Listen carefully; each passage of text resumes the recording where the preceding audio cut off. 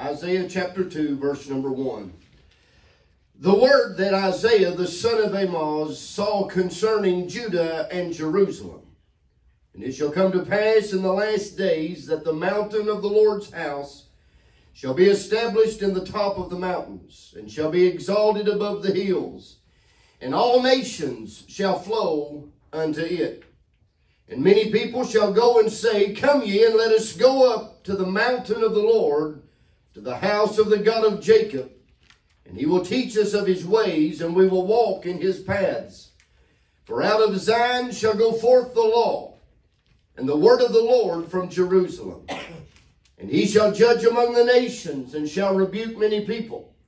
And they shall beat their swords into plowshares, and their spears into pruning hooks.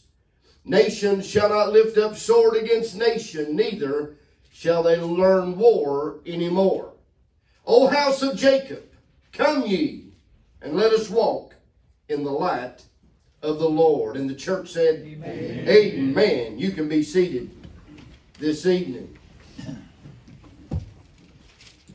I think if there's anything that the, the Lord desires from us, and folks go to church for many reasons, many different reasons. Not everybody that comes to church is there to grow in the Lord and to be a stronger Christian. People go to church for many different reasons. You'd be surprised why people come to church on Sunday morning or maybe even on a Wednesday night. It's not always of their desire that they might get closer to the Lord. But I think if there's anything that the Lord desires from me and you tonight as people of God, is that we walk in the light of the Lord. Amen? Scripture teaches us that he, um, the man that is saved has become new creature. All things are passed away. All things, old things are passed away. All things have become new. And we need to walk in that newness of life.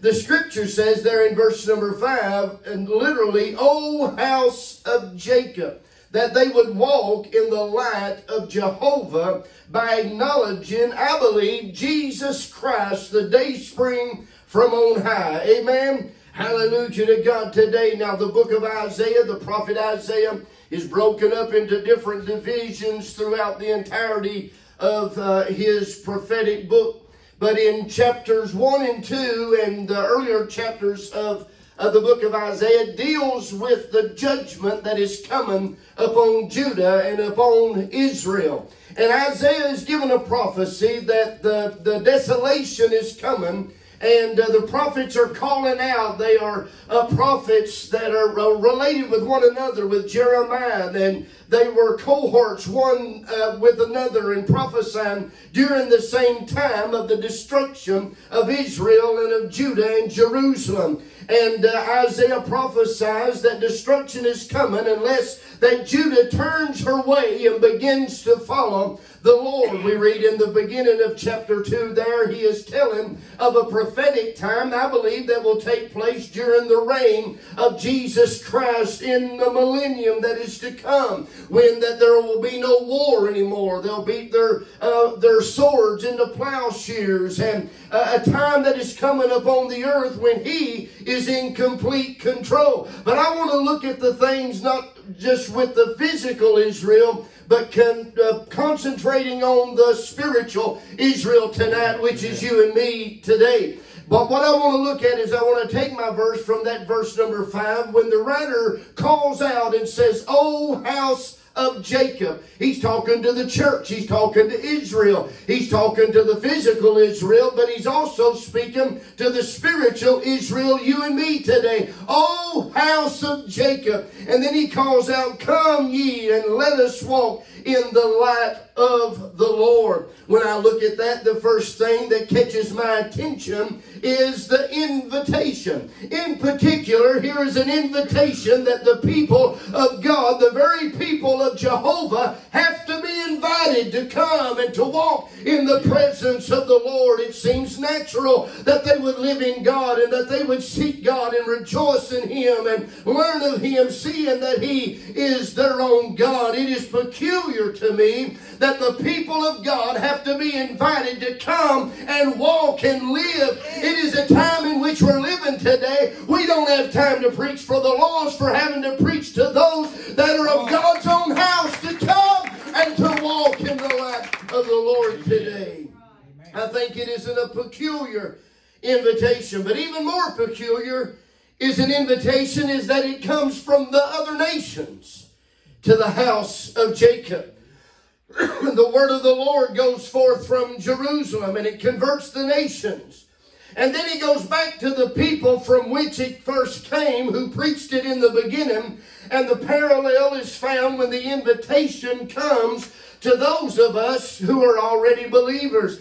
Notice that many times the invitation comes from those that we minister to ourselves, people that we have ministered to and encourage, and they give their life to the Lord, and now they're serving the Lord, and they have to get and call upon us, hey, won't you come and let's walk in the presence and in the light of Jehovah God. It is a peculiar invitation when those that we have preached to have to preach to us to come and walk in the goodness of God. It is a parallel when there is a move among God's people that we have preached to and that we have encouraged. It is like a moving among dry bones when it says, Oh, house of Jacob, come, house of Jacob, come, people of God. Those of you that call yourself a Christian, you need to come to the house of the Lord. You need to come and walk in the light of the Lord. Oh, that God's people would walk in the light of the Lord again today. It is a peculiar invitation from those of whom we have ministered to before. It is a peculiar invitation from new converts. You've uh, seen a new convert, you know, when you first found the Lord. How excited that you was. You was inviting everybody to come to church every, every time the doors was open. You was excited to be there. But after, there's many that after they've been in church, they've been saved for a long time, the zeal and the fire kind of dies down and becomes a smoldering ember.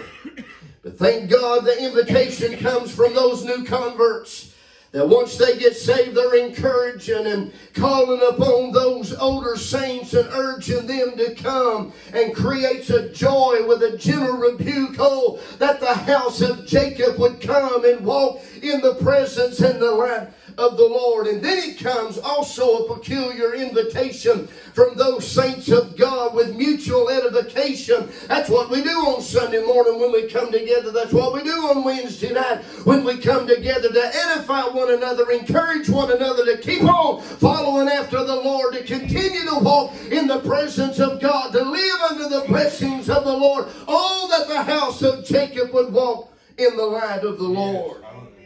It is a peculiar invitation. And I would, and I believe that God desires more of that. Such invitations are healthy signs if nobody's encouraging us to live better, nobody's encouraging us to get closer to God, and nobody is encouraging us to get our priorities straight, something is wrong. But is it, a, it is a healthy sign when we are desiring and calling on people to come to the house of the Lord and to walk in the presence of the Lord. We are to encourage one another, their zeal and fervor by getting together. That's why we come together to worship and to sing and to praise the Lord. So there is an invitation. Not only, this invitation is not only for the time, the prophetic time to come, and I believe it's coming, and I believe it's soon to come, but I believe that we can live in that light now. I believe that we can walk in that light now. Amen? Yes. Oh, that the house of Jacob would come and walk in the light of the Lord.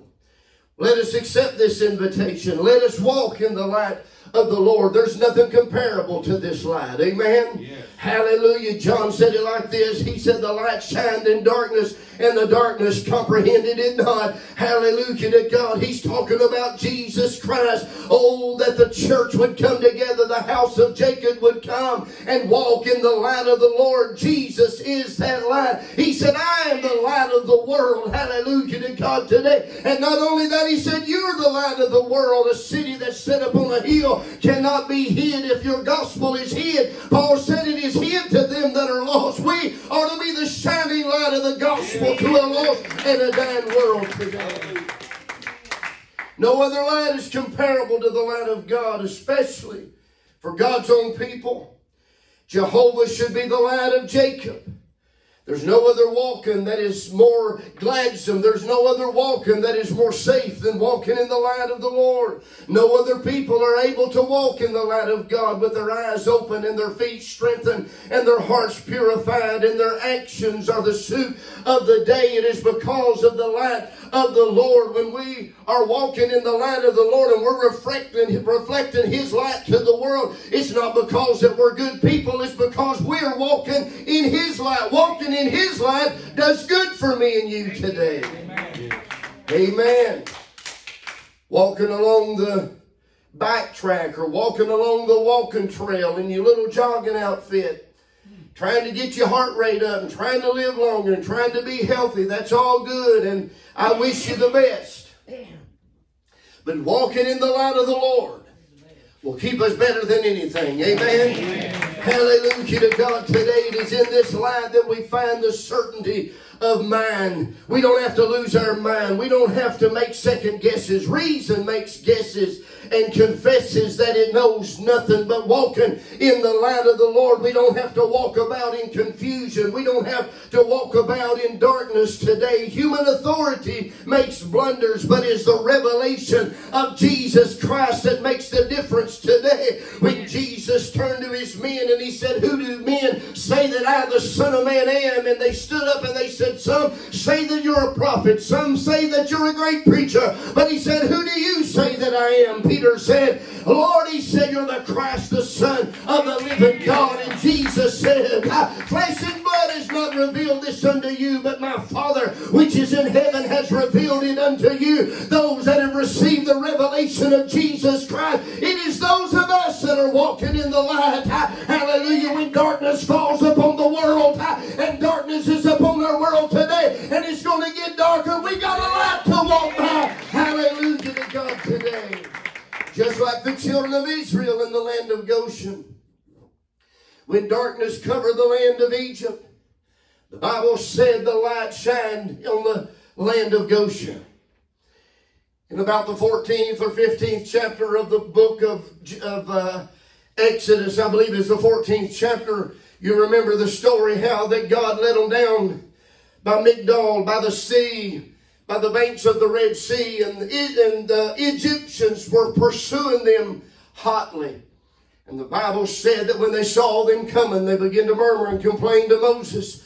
But the Bible said that that pillar of cloud and pillar of fire moved from in front of Israel and moved over behind them and got between them and the Egyptians. And the scripture says that it was darkness unto the Egyptians, but it was light to the children of Israel. That's what God will do for us today. Hallelujah. To some people God just like a magic uh, just like a magic lamp, like some kind of genie. I need this. I want that. I want this car. I want that house. But I'm telling you, God is able to come down in the darkness of a sinful world and give us a light to walk by that we might be able to live in the light of the Lord today. Oh, that Jacob would come and walk in the light of the Lord. You see, in this light, we find rest for the conscience because we see Jesus. We see Jesus with his perfect sacrifice and his shed blood, that perfect pardon that it procures. We see his perfect righteousness covering us and making us right in the eyes of God. It clears our conscience to know that we're walking in the light of the Lord. Amen. Amen.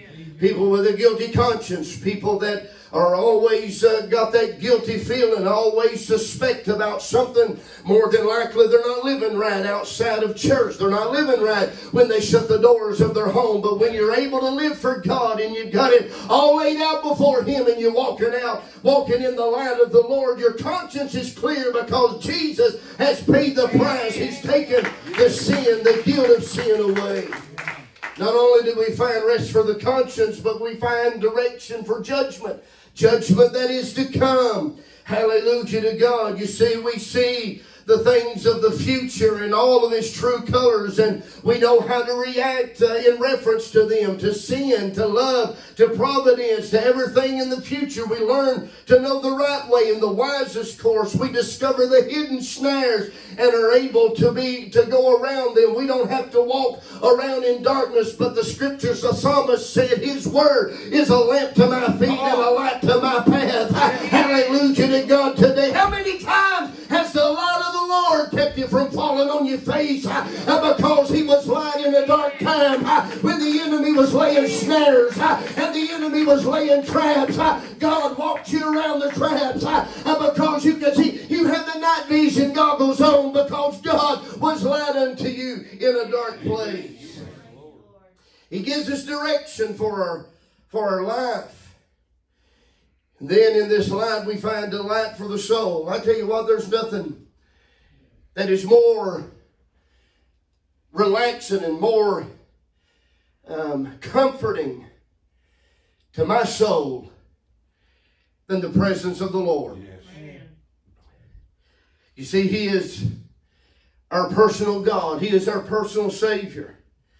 We are complete in Him. The Scripture tells us that uh, all things work together for the good of them that love God. Yes.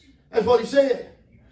Now, when it seems, even though it seems like everything's falling apart and you feel like your stress level is above 10 and you feel like that you're about to explode, even in those times, I've got to know and understand for whatever reason. I don't know why that I'm where I am today. I may not know what I'm going, why I'm going through what I'm going through today. I don't think the Lord will put on me more than I'm able to stand, but I feel like I ain't going to be able to stand much more. But I put my confidence in knowing that He knows where I'm at. And if I'm walking in the light, He's got my back. Hallelujah to God today. He is in the light to the soul. As we as the choir sang, I began to think back in my early years of just beginning to preach and remembering what a joy it was to go to church. Could not wait. It didn't matter how long I worked. It didn't matter what the day held. It didn't matter what was going on. The, the taste of church was on my lips. I could not wait to get to the house of the Lord. I can remember the old saints of singing, and they sang it like they meant it. And they shouted when they sang, not because so somebody could see them, not because their neighbor was doing it, but they did it because that's what they they did it at home in their private life. They did it at home in their closet because they was worshiping and praising the Lord. I remember uh, oh, the the sister Parker and sister Imogene Tilley that the church that I grew up in. We would take off on a song, and I knew after about the third chorus, buddy, we got her to rocking. It didn't matter if it was Wednesday night, Tuesday night, Sunday morning, Sunday Sunday night, we get to singing and I get to feeling something up my spine. Some of the greatest memories that I ever had was in the house of the Lord, in the presence of the Lord, in a good old fashioned church service. We need to get back all that the house of Jacob would come and walk in the light of the Lord. It is a delight to our soul, and it's a communion for our heart. We took communion a couple of weeks ago, and we've those of you that's been going to Morning Pointe, we've been taking communion there with the little folks there. And it means a lot to them. It's more than just it is more than just a process that we involve ourselves in at church, but it is communion, spiritual communion with the Lord. And we show forth the Lord's death until he comes back.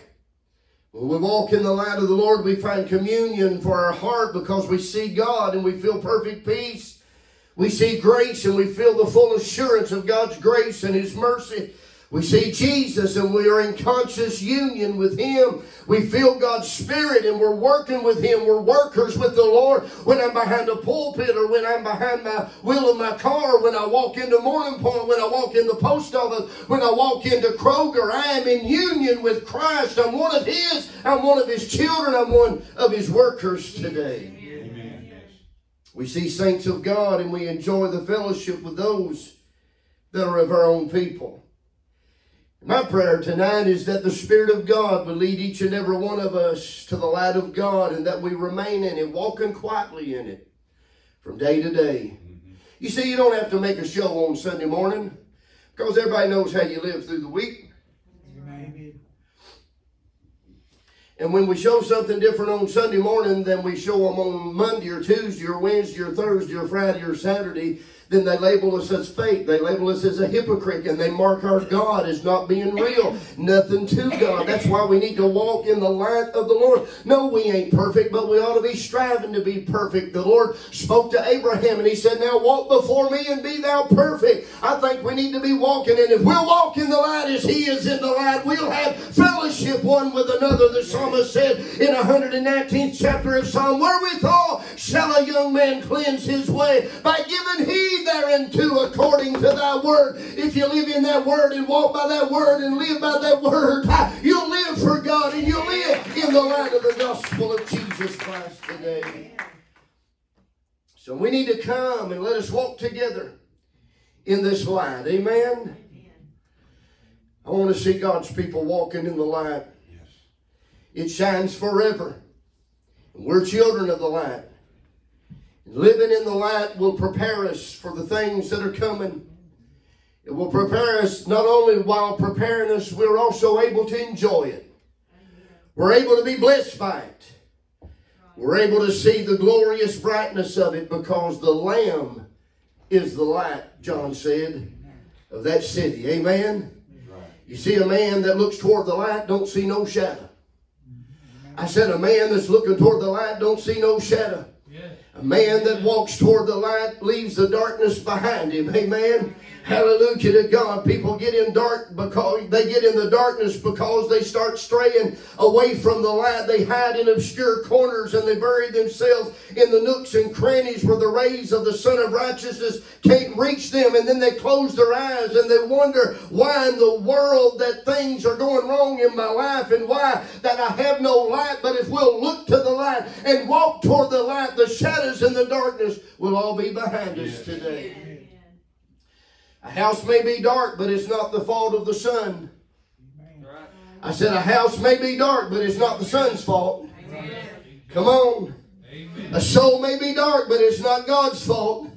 Hallelujah to God. He that follows Christ will turn away from the darkness. He'll not walk in darkness, but have the light of life. But the Bible said if our deeds are evil, then that's when we're walking away from God and we love darkness rather than the light because our deeds or evil. But when we find the light, hallelujah to God, when we walk in the light as Christ is in the light, we've got fellowship with God. Yes. We've got fellowship with the Son. We've got the fellowship with the Spirit. Oh, that the house of Jacob would come and walk in the light of the Lord. Isaiah is a fascinating, one of the biggest um, volumes prophetically, one of the major prophets major prophets. The major prophets, minor prophets. The major prophets are like Ezekiel and, and uh, Jeremiah and Isaiah. And then, you know, the minor prophets is like uh, Amos and Habakkuk. Not major minor because they're major, more important minor because they're not as important. Major because of the volume of the work. That's why Isaiah and Ezekiel and Jeremiah got 40, 50 some chapters to where that, you know, like Obadiah's got one, one chapter. So major works con considered by the works of the volumes.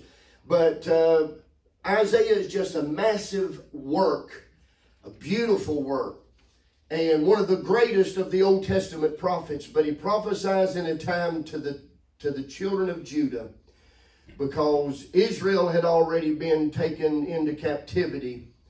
And God told Judah, if you don't turn your way, same thing happened to your sister is going to happen to you. And we live in a time to where that I feel like that preachers, whether they know it or not, if they know the Lord, are prophesying to a people that if we don't change their ways, the same thing that happened to our sister, Israel, is going to happen to us. Right. I believe it's it's the same thing. Everything we see in the in the physical of Israel, we see in the spiritual with the church. I believe. Yes. And uh, if you remember, Israel fell into captivity by the Babylonians, and then, you know, there was still hope for Judah, but Judah continued on doing the same thing they was on to doing. They kept on coming, playing church, having things, you know, just going about the business, didn't think that it was that important. They still had singing, shouting, carrying on, having worship service, just business as usual until the Chaldeans come, the Babylonians come, took them into captivity. I I feel like there is a, a dangerous time that we're getting ready to face. Not only as a nation, but as a world. And I believe that it is not going to be as a result of who's in the White House or uh, Putin's war on Ukraine or anything else that, uh, and all these nations I believe will be involved. China will be involved. Russia's going to be involved. We're going to see all these things coming together and playing together. But uh, and and when it when it comes to pass, it's not so much them as it is the hand of the Lord. We live in a time when bad things happen. We say, "Well, that's the devil. God only does good things," but that's not so. God is in control of everything. That's right. And it was God that sent the destruction upon Israel and upon Judah. It was not the Babylonians. The Babylonians couldn't do anything. They couldn't defeat God's people, but it was God that was trying to, and it wasn't to destroy them, it was to try to get them to turn around, to try to get them to wake up. Amen. We live in such a blessed time, people, church is not important to them anymore. They got too many things, they got too much money, they got too much running, they're blessed too much. And I believe God is going to shake the place together. He's going to shake it apart until we wake up and realize we've been looking at the wrong thing when we need to be looking to Jesus, the author and the finisher of our faith. So it's worth noting. Now, I'm not a, a, a, botanist. I'm not a great gardener. I'm not a great green thumb, but I, I love to fool with plants and gardens and, and stuff like that. I've always fooled with that. Mama uh, always showed me how to plant flowers, and she had four o'clocks. Some of you people that fool with flowers, I love four o'clocks. And, and Mama, you know, we would get the seeds out of there, and I'd go plant my own. And I wished to everything I'd had some seeds from my Mama's four o'clock plants, so I could have, you know, some of hers. But I ordered my own last year and grew me some four o'clocks. Boy, they was pretty. But uh, I didn't really know what I was doing. They didn't come back this year, but I'm going to try it again. But um, I ordered me and mom some hostas and some different things. And I love to grow a garden, a little bit of this and that. And I ain't no big time farmer, but you know, I, I enjoy those things. But one thing that I have noticed, and especially if you have plants in the house, you'll notice it even more. But if you plant, if you set a plant in the window in the morning sun or the evening sun or whatever, and it gets good and hot in that window, you know what that plant will do? It will lean toward the window. And the plants that I've had in the past that I've had the window, once they would lean so far, I would turn it around and it wouldn't be long. It'd lean back over. What it's doing, it's it's gathering its strength and that nourishment from the sun. Amen. We ought to be leaning toward the Lord rather than leaning toward the world. And if you've noticed how that you take that same plant that is fully green and beautiful colors and you set it over in a corner where it can't get no sunlight. You set it in the darkness or or even green beans that are underneath all that uh, all that foliage and everything down under that bottom. Sometimes I'm picking green beans and I'm crawling around down in there and and um, I'm waiting one day for a big snake to crawl out of there and then you're going to sound like a Cherokee Indian down in Hustonville. And some of those green beans are full and they're plump, but you know what? They're yellow. Because they ain't got no sun. Can't get no light. And that's what we look like prancing to church on Sunday morning when we ain't been in the light all week. You're all yellow and frizzled up. you think you look good, but you look a little puny. Amen. But you know, in all seriousness, that dimness of life, that lack of light, is a bigger dread to men's souls than, than the physical pain that they may face. They may not be able to recognize it. They may not be able to tell you that. But it is a bigger distress of their soul to live in darkness away from the light of God than it is to be in some kind of a physical ailment. And I would that God every morning would shine his light on us and it would be our desire to lean toward him and walk toward him and live in his light. Amen? Amen. That's my message to you this evening. O house of Jacob, come ye and let us walk in the light of the Lord. Amen. Will you stand with us all over the house?